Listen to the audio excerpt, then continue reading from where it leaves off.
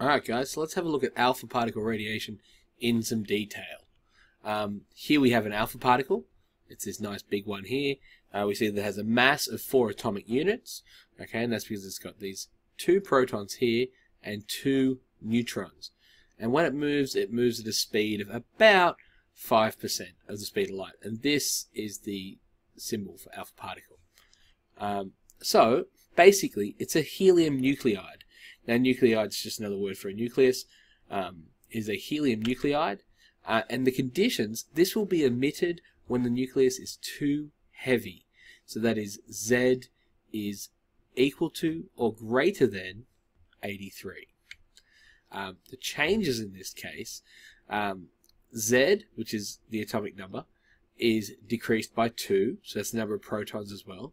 So protons are decreased by 2, the atomic mass is decreased by 4, you can see because you've got two protons, two neutrons. Um, and A is the atomic mass and Z is the atomic number. It's very low penetrative power, and that's because it is very big, so it is tends to be stopped by paper.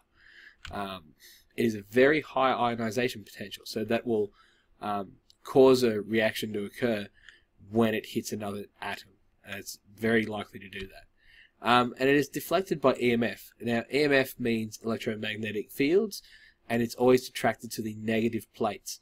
And you can see up here, because we've got this 2 plus in there, because it's got no electrons, um, it's attracted to the negative plates.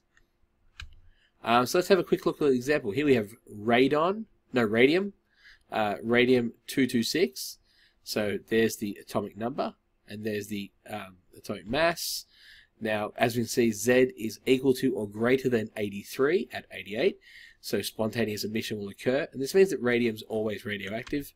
Um, and we see that we end up with um, 4 and 2 taken away. Now, this all needs to add up.